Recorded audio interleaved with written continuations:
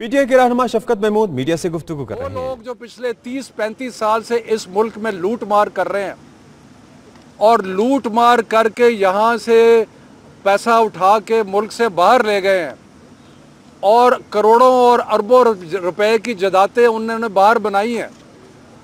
और अब जब सुप्रीम कोर्ट के हुक्म से उनकी तलाशी शुरू हुई है तो वो वावेला मचाया हुआ उन्होंने। आज तो उन्होंने वहाँ पे जाके जेआईटी के सामने नारे भी मारे हैं। उसको इंटिमिडेट करने के लिए हरासा करने के लिए कोशिश की है। उससे पहले सुप्रीम कोर्ट में दरखास्तें दे रहे हैं कि जी हमारी तलाशी क्यों हो रही है, हमारी तलाशी क्यों हो रही है? और भाई तलाशी तो होगी। सुप्रीम कोर्ट के हुक्म पे हो रही है। तीस साल से जो लूट मार कर कर रहे हैं, उनका कोई हिसाब देना है या नहीं देना? और उसके बाद ये तासुर देने की कोशिश की जा रही है कि जैसे को बड़ा एहसान किया है जेआईटी के सामने पेश होकर ओ भाई जेआईटी तो क्रिमिनल इन्वेस्टिगेशन हो रही है। आप मुजरम हैं, आप पे इल्ज़ाम लगे हुए हैं। उसकी इन्वेस्टिगेशन हो रही है, सुप्रीम कोर्ट के हुक्म पर।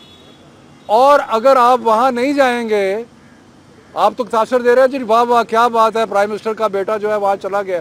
और भाई, अगर आप ना जाते तो आपको कंटेम्प्ट ऑफ़ कोर्ट लगती और कल आपने देखा सुप्रीम कोर्ट ने क्या कहा? सुप्रीम कोर्ट ने कहा कि जो बंदा जेआईटी के सामने पेश नहीं होगा, उसके ने नाकाबिल वारंट गिरफ्तारी समन जो है, वारंट जो है, वो जारी किए जाएँगे।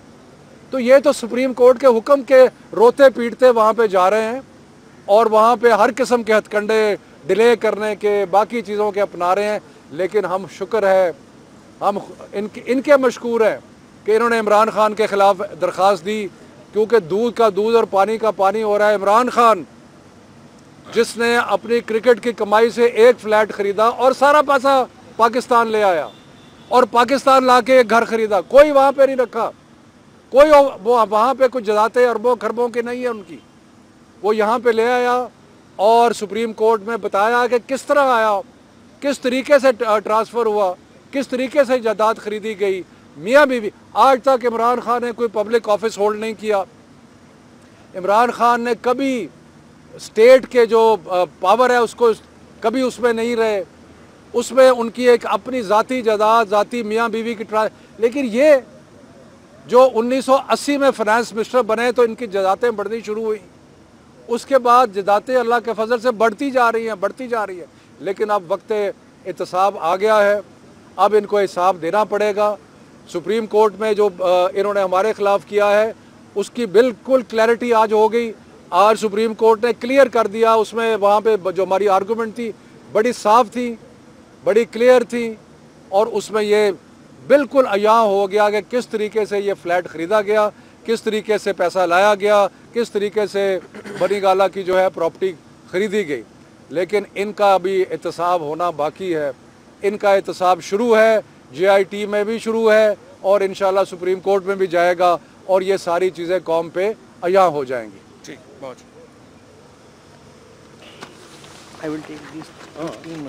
शफकत महमूद मीडिया से गुफ्तु कर रहे थे और उनका ये कहना है कि इमरान खान पे इल्ज़ाम आय किए जाते हैं और अब फवाद चौधरी मीडिया से गुफ्तु कर रहे हैं। अल्लाह ताला इस मुकद्दस महीने में हमें सच बोलने की ज़रा ज़्यादा तोफीक दे। और जिस तरीके से आपने देखा है कि एक झूठों का दरबार लगा हुआ था हमसे पहले और जिस तरह से दानियाल अज़ीज़ साहब, तलाल चौधरी साहब और हम नवा आपने देखा है कि जिस तरीके से उन्होंने यहाँ पे चीखें मारी हैं और बिल्कुल झूठ के ऊपर मबनी गुफ्तु जो है वो उन्होंने की है रमज़ान के इस मुकदस महीने में। सबसे पहले मैं आपके सामने जो आज की प्रोसीडिंग्स हैं, उनके ऊपर बात करना चाहता हूँ। जो केस है इस वक्त, वो दो बुनियादी नुकात के ऊपर है। एक नुक्ता है कि पीटीआई फॉरेन फंडेड पार्टी है और दूसरा नुक्ता यह है कि बनीगाला की जो प्रॉपर्टी इमरान खान साहब की है, वो उसकी मनी ट्रेल दी जाए। पहले भी मैंने ये कहा था कि जब सुप्रीम कोर्ट के सवालों के जवाब शुरू होंगे तो इनको भागने की जगह नहीं मिलेगी।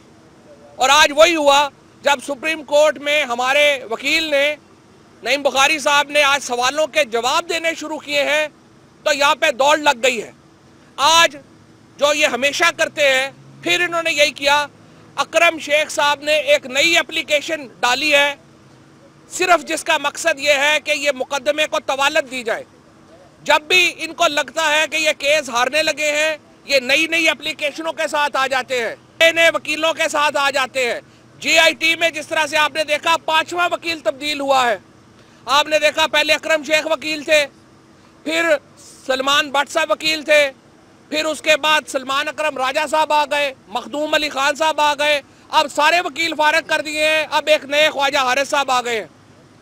वकला की तब्दीलियाँ की जाती है नए नए एप्लीकेशनें दी जाती हैं तवालत लेने के लिए। आज इमरान खान के केस में भी जब लगा कि ज़मीन पाँव के नीचे से सिरक गई है तो एक नई एप्लीकेशन आ गई अकरम शेख साहब की तरफ़ से। उसका भी जवाब हम इंशाल्लाह उनको देंगे। अब ज़रा आ जाइए अभी के मामला के ऊपर कि इस वक्त क्या मामला है। मैं पहले बनीगाला की जो प्रॉपर्टी का मामला है, पहले उसके ऊपर आपको जवाब देना चाहता हूँ। बनीगाला प्रॉपर्टी तेरह जो लोग भी प्रॉपर्टी का खरीदते हैं, बेचते हैं, जो ज़ाहिर है सभी कुछ खरीदते बेचते हैं, उनको पता है आपने रकम दी उतनी प्रॉपर्टी आपके नाम हो गई। बाद में नई किस्त आई नई रकम दी नई आप, प्रॉपर्टी आपके नाम हो गई। ये सवाल का जवाब आ गया। फिर राशिद खान ने जायदाद के लिए रकम दी तो उनके पास पैसे कहाँ से आए? उसका रिकॉर्ड हमने पूरा जो एक बना के चार्ट और बैंकिंग ट्रांजैक्शन साथ लगा के राशिद खान साहब के हमने हवाले कर दिया है। एक इंपॉर्टेंट बात मैं यहाँ पर यह भी कर दूँ कि मुस्लिम लीग नून के कुछ रहनुमाओं खसूस निहाल हाशमी साहब ने अमरीका में मुकीम एक राशिद खान साहब, जिनके ऊपर इल्ज़ाम थे, मुख्तलिफ़ नोयत के, उनको ये राशिद खान बना के मिलाइन किया। और राशिद खान साहब, आप कहने की हिदायत के मुताबिक, निहाल हाशमी साहब को हम एक अरब रुपए का लीगल नोटिस भी भेज रहे हैं कि उन्होंने उनके ऊपर ये इल्ज़ाम क्यों लगाए, क्यों कहा कि वो जेल में रहे हैं? वो तो कभी अमरीका ही नहीं रहे हैं तो जेल में कैसे रह सकते हैं? लेकिन वही जो मैं आपको बता रहा हूँ कि पीएमएलएन की जो रवायत है झूठ बोलने की, वो माशाल्लाह किसी लम्हे पर भी किसी कदम के ऊपर भी ख़त्म जो है वो नहीं होती है। उसके बाद अगला सवाल मैं आपसे पूछ करता हूँ। तलाक के बाद बनी गाला में पचानवे कनाल अर्जाजी का जमायमा के नाम इंतकाल कैसे हुआ? कागजात में जोजा इमरान खान क्यों लिखा गया? यह सुप्रीम कोर्ट का सवाल था। जो लोग भी रेवेन्यू में जाते हैं, आपको मालूम है कि ट्रांसफ़र का प्रोसीजर होता है। उसकी अप्रूवल होती है। 2002 में ये ट्रांजैक्शन का आगाज़ हुआ और अप्रूवल जिसकी जाके 2005 में हुई। और जो पहले दिन जब ये ज़मीन खरीद रहे थे तो जमायमा खान, इमरान खान की बीवी थी।